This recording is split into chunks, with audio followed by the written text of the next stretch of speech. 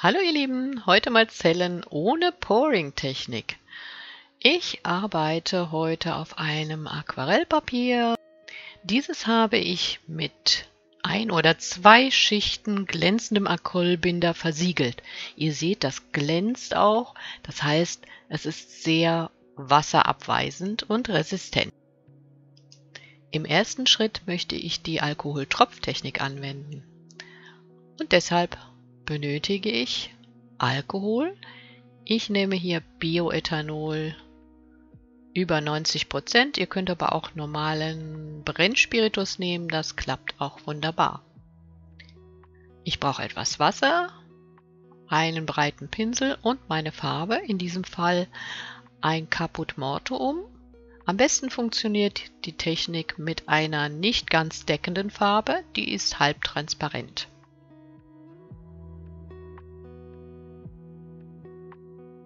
Meine Farbe möchte ich mit Wasser verdünnt auftragen. Um mir das zu erleichtern, sprühe ich zunächst einen kleinen Wasserfilm auf die Oberfläche.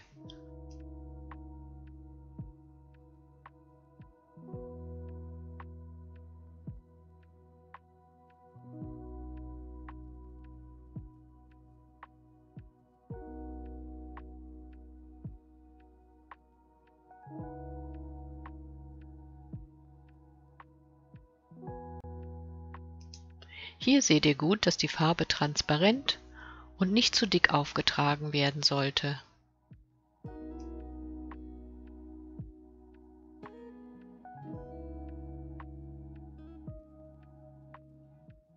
Sie darf auf keinen Fall antrocknen und sollte immer schön feucht bleiben.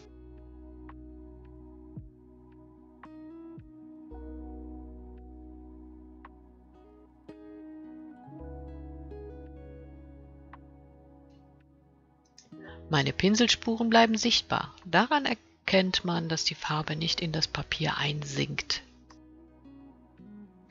Ich kann die Pigmente einfach auf dem glatten Untergrund schön hin und her verschieben.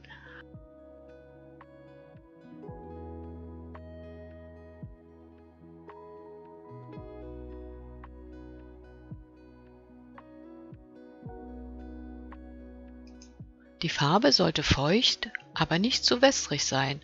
Sie sollte keine Pfützen bilden, sonst funktioniert die Alkoholtropftechnik nicht. Manchmal muss man den Verdünnungsgrad einfach ein paar Mal ausprobieren, bis man herausbekommt, wie es funktioniert.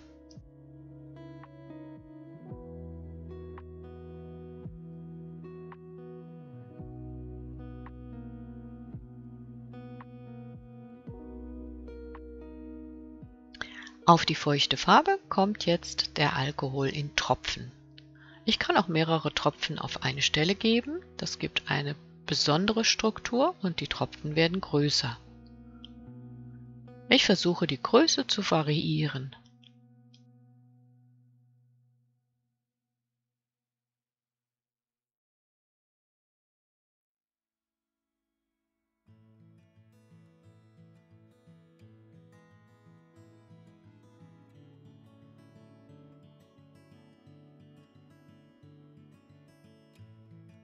Es ist interessant zu sehen, wie von Zauberhand diese Strukturen entstehen.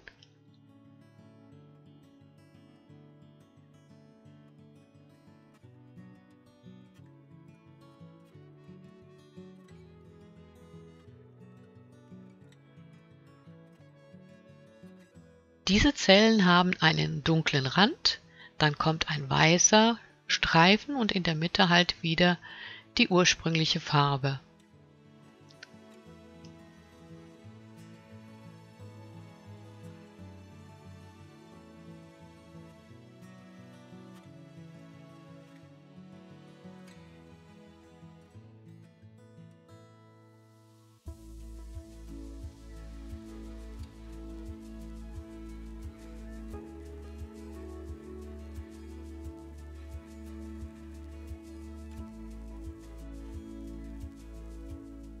Das Ganze lasse ich jetzt eine Weile trocknen.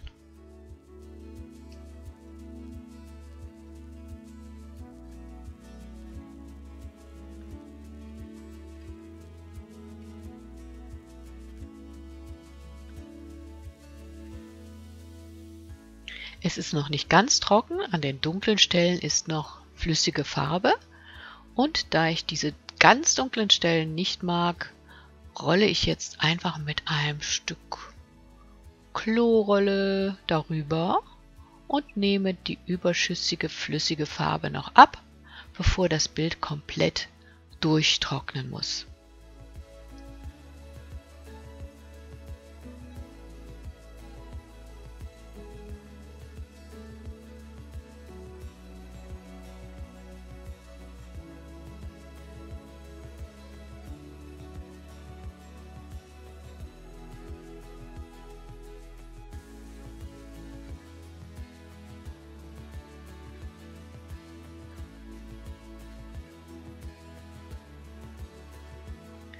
So, das Bild ist mehrere Stunden durchgetrocknet und ich kann darauf jetzt auch ohne weitere Versiegelung meine Zellen ausarbeiten. Hier seht ihr nochmal die vielfältigen Strukturen. Es sind lineare Strukturen, innen drin die Tropfkreise, mehrere ineinander teilweise. Und ich beginne einfach mal an einer Stelle mit einer Farbe ich versuche, die weißen Ränder der inneren Tropfen stehen zu lassen und beginne erst einmal ganz vorsichtig.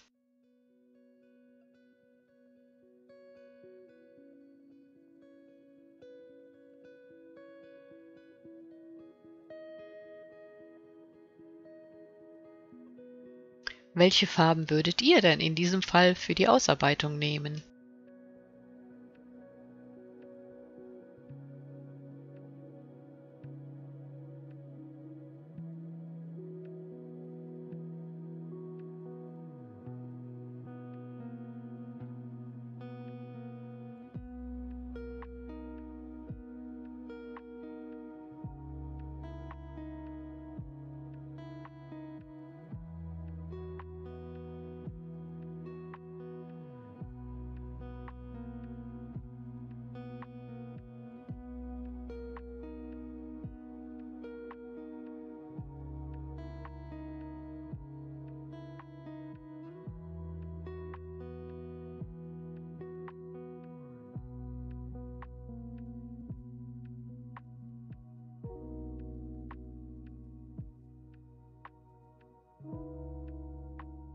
Dank der vielfältigen Strukturen könnt ihr jetzt ziemlich frei entscheiden, was ihr überdeckt und was ihr stehen lassen wollt.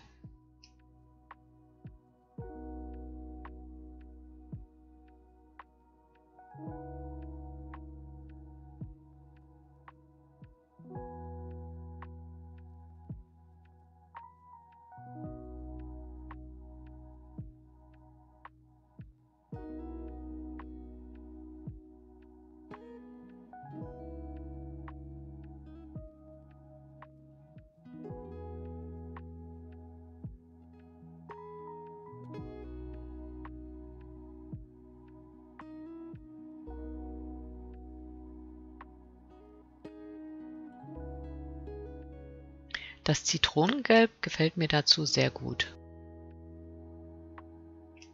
An diesem kleinen Bildabschnitt kann ich meine Farbpalette gut ausprobieren.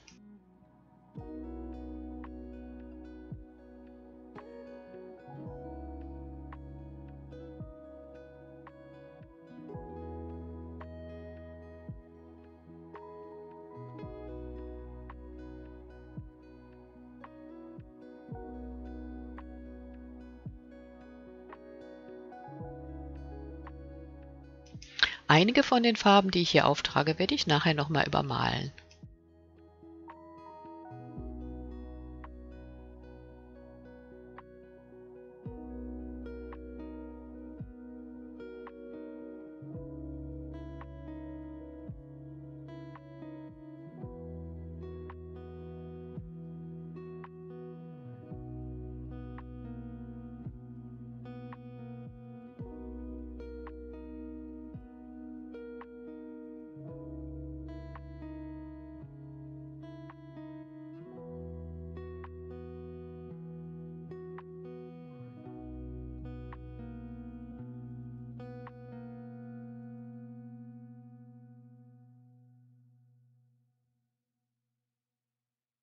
Da mir das Gelb sehr gut gefällt, es ist ein Zitronengelb mit Weiß gemischt, setze ich es im ganzen Bild an den hellen Stellen in den Zellen ein.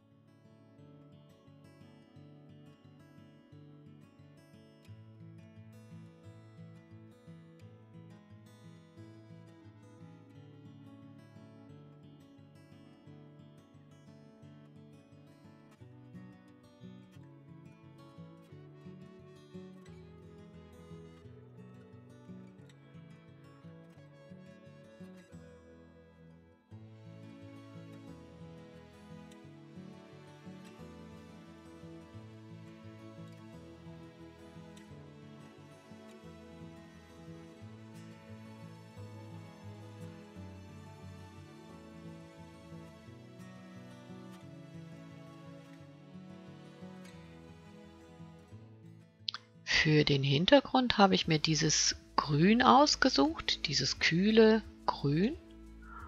Und auch das Orange findet seinen Platz im Bild.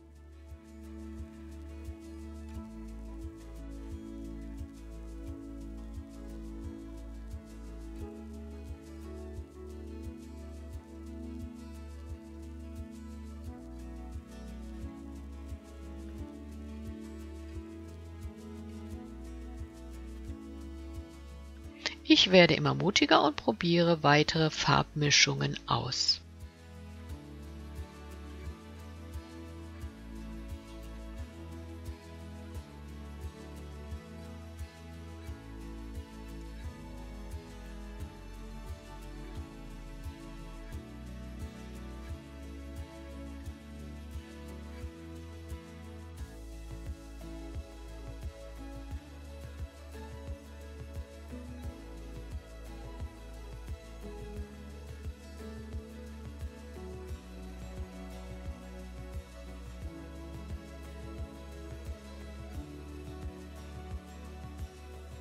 Jetzt läuft's eigentlich wie von alleine.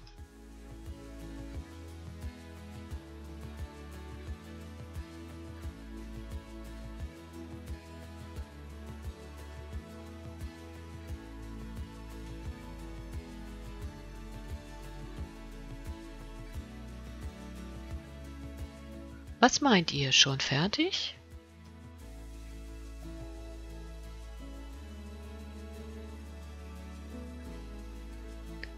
Die feinen Strukturen der Alkoholtropftechnik sind teilweise auch geblieben. Ich glaube, ich werde den Hintergrund noch einmal überarbeiten und eine minimale Spur heller machen.